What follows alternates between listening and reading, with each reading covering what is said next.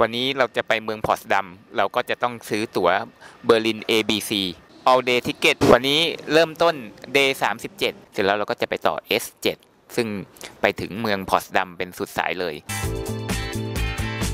เราก็มาถึงแล้ว Potsdam Hauptbahnhof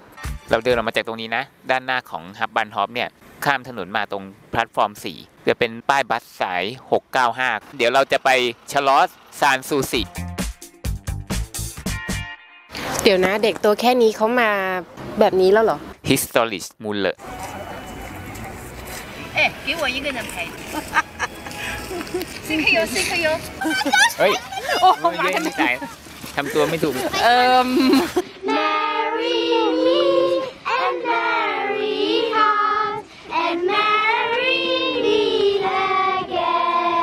Sanssouci Palace เนี่ยเกิดขึ้นในรัชสมัยของ King Frederick ที่ 2 หรือ Frederick the Great พระองค์เห็นว่า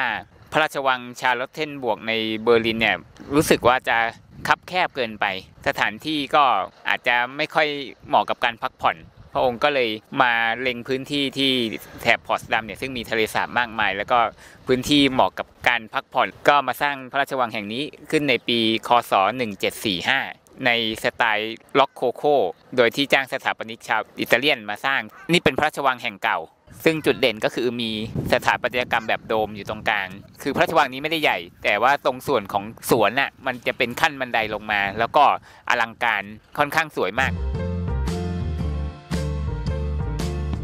ขอนั่งหลังม้าได้ไหม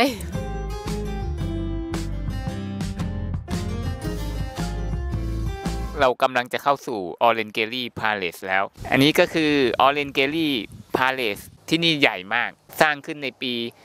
1851 เมื่อไม่ถึง 200 ปีมานี้เอง ในสมัยของ King Frederick William ที่ 4 ผู้ที่ได้ฉายาว่า Romantic on the Throne เดินแล้วก็หยุดเดินแล้วก็หยุดไปอยู่ตรงนั้นน่ะมองขึ้นมาตรงนี้จะเห็นไหมบ๊ายบาย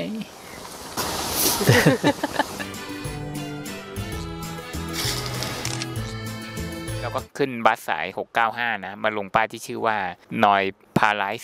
มาซานซูซินิวพาเลสซึ่งพอลงมาแล้วปุ๊บ ยังไม่รู้ว่ามันตั้งอยู่อันนี้เป็นรูปปั้นแมวมีไขว้ขาด้วย ไม่รู้คนนั้นเขาเป็นทหารเฝ้ายามหรือเปล่านะหรือเขาเขาไปยืนหลบฝนเฉยเราไปขอถ่ายรูปไหมๆ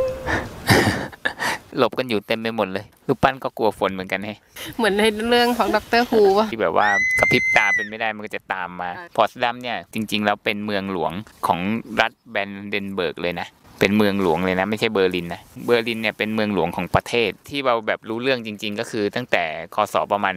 1,600 กว่า เพราะว่าเป็นช่วงหลังจากสงครามศาสนา ช่วงนั้นเนี่ยมี Elector Frederick Williamเล็งเห็นว่าพอทสดัมเนี่ยเหมาะที่จะเป็นเมืองหลวงแห่งที่สองก็คือเป็นที่พักผ่อนของเขา แล้วก็มีอะไรพร้อมไม่แพ้เบอร์ลินก็เลยมาตั้งฐานที่นี่ หลังจากที่ปรัสเซียเนี่ยได้มี King แล้วเนี่ยก็ มีการใช้พอทสดัมเนี่ยเป็นฐานที่มั่นทางด้านการทหาร แล้วก็มีการสร้างวังเพิ่มขึ้นอีกมากมายเลย เมืองพอทสดัมก็เลยสวยงาม แต่ว่าในช่วงของสงครามโลกครั้งที่สองเนี่ยเมืองพอทสดัมก็โดนกับเขาด้วยเหมือนกันก็คือ โดนอังกฤษกับอเมริกานี่แหละ เขาบอกว่าทิ้ง bombระเบิดเป็นพันเกือบ 2,000 ตันอะลงใส่เมืองพอร์ตดัมก็คือทั้งวังทั้งสถานีรถไฟตึกอาคารสำคัญทั้งหลาย โดนหมดราบคาบประชาชนเสียชีวิตมากกว่า 20,000 คนตรงข้ามก็ยังมีวังย่อยๆ อยู่ด้านหน้าอีก Universitat Potsdam เดี๋ยวบอกนะว่านักเรียนที่นี่มาเรียนกันในภาษา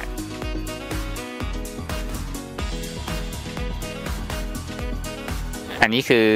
Now Earner Tour สร้างในสมัยของ King Frederick the Great อีกตามเคย สร้างในสไตล์ของ English Gothic ในปี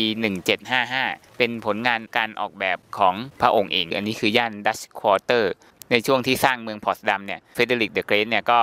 จ้างสถาปนิกหรือช่างชาวดัชเนี่ยมาช่วยสร้างเมืองนี้ ในซอยเนี่ยก็จะประมาณเป็นของพวกงานฝีมือ เพราะว่าที่เนี่ยเป็นที่อยู่ของช่างฝีมือชาวดัชในอดีต อย่างเช่น งานปั้นโคนิกส์บราวน์นี่อันนี้คือนอยฮาร์ดเถ่าของพอสดัมสร้างขึ้นในปี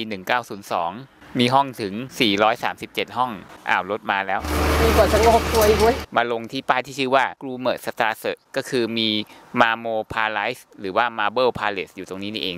ปรากฏว่าปิดอีกแล้วครับ อันนี้คือทางเข้ามาเบิลพาเลสมันเข้าทางอื่นได้หรือเปล่าเดี๋ยวดูก่อน อะไรฟละมาเปิดให้เราหน่อยมา เราดูเขาไหมว่าเขาเดินไปไหนกัน เขาจะออกทางนี้เหรอ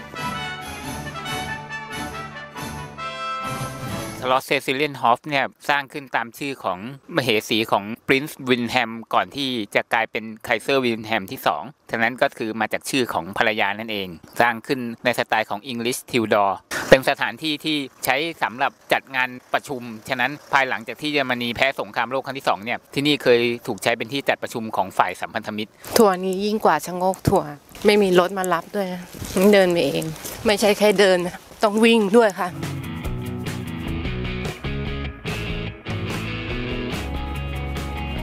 แทมมันจะวิ่งแนวนอนใช่ไหมล่ะ แล้วก็ลงที่ป้ายที่ชื่อว่าชลอสบาเบลแบกปราสาทบาเบลแบกนี้ก็สร้างอยู่ในสวนอีกแล้วทำไรอะ ไม่มีอะไรกินแล้วไม่ใช่เหรอ อ๋อ จิบน้ำชาชมวิว ตามธรรมเนียมไม่มีอะไรกินก็กินน้ำชา โอเคเควสนี้โอเคแล้ว จิบแล้วจิบน้ำชาจิกินมากไม่ได้เดี๋ยวปวดฉี่โอเคไปได้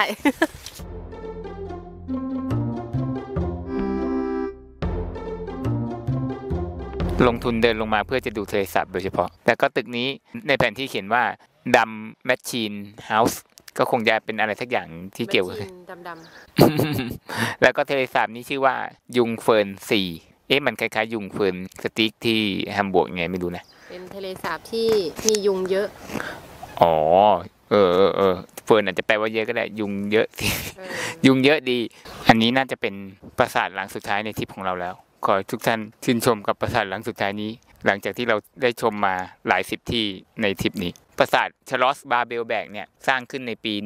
1753 โดย Frederick the Great คนเดิม ในสไตล์ Neo-Gothic อังกฤษสถานที่แห่งนี้เนี่ยเคยเป็นที่อยู่ของ UFA Studio ซึ่งเป็นสตูดิโอถ่ายหนัง รู้ไหมว่าเมืองพอทสดัมเนี่ยมีประวัติศาสตร์การถ่ายหนังมาก่อนฮอลลีวูดซะอีกนะ หรือว่า UFO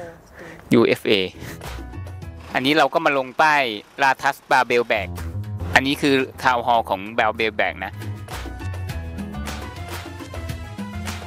อันนี้เราลงป้ายที่ชื่อว่า Alter Markt Landtag ใกล้ๆ ป้ายนั้นก็จะมี Potsdam Film Museum ตึกแดง ๆ ตรงนู้น สร้างมาร้อยกว่าปีแล้ว หนังของเยอรมันเนี่ยมีมาก่อนฮอลลีวูดอีก แล้วก็เก็บหนังของเยอรมันไว้เป็นร้อยปีเลย มันจะเก่าขนาดไหนกันนะ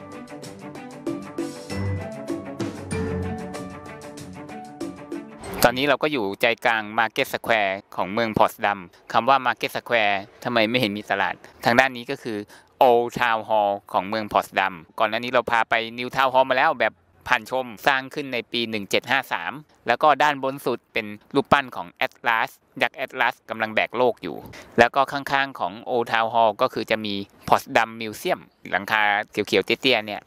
ส่วนทางด้านนี้ก็คือ โบสถ์เซนต์นิโคลัสสูงถึง 77 เมตร สร้างในปี 1830 แล้วก็ได้ชื่อว่าเป็นสถาปัตยกรรมที่อลังการที่สุดของเมืองพอสดัมและด้านหน้าของโบสถ์ก็จะมีแท่งอะไรเนี่ย ประเทศอื่นเมืองอื่นก็มีแท่งแบบนี้ ก็คือเสาโอเบลิสก์มันดูใหม่ ๆ มันเหมือน theme park ที่เพิ่งสร้างอะ พอสดัมก็โดน bomb ในช่วงสงครามโลกพังไปเกือบทั้งเมือง นี่คือการแต่งตัวมาเดินห้าง มาเดินห้างหรือมาเดินป่าพีชฮาเซลนัท อันละ 1 ยูโร